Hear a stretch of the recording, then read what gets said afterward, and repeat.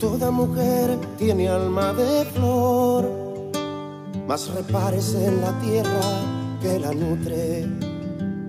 La mujer cubana ha desarrollado un rol fundamental en el panorama cultural de nuestro país. Ellas han ocupado un espacio vital en la cultura de nuestra nación. Su presencia ha sido permanente en los diversos sectores de nuestra vida. Múltiples son los nombres de mujeres que sobresalen en el panorama cultural. Mujeres que con su entrega y pasión han enaltecido la cultura cubana.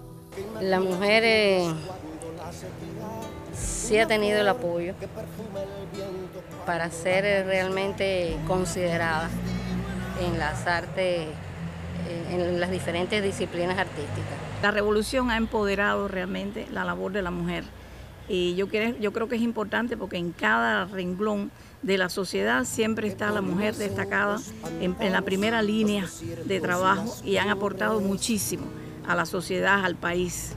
Es una mujer que que ha luchado por, por sus derechos y, y, y, paso a paso cómo los va logrando. Esa mujer con alma de flor lleva dentro en la raíz tal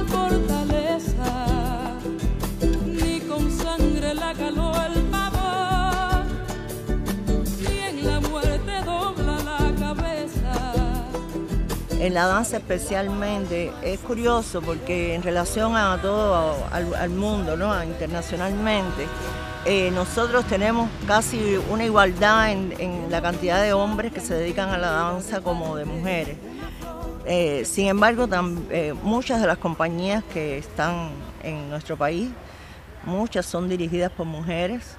Es decir, la presencia de la mujer es muy importante. Hoy es maravilloso ver una mujer cómo puede dirigir un colectivo teatral, radio, la televisión, el cine, que es el último baluarte masculino que logramos vencer. Pero son dignas de admiración. Sabe que la palma es un suspiro coronado de esperanza y de belleza. A 60 años de la fundación de la FMC, la mujer cubana se consolida como pilar fundamental de la sociedad y puntal de la cultura cubana.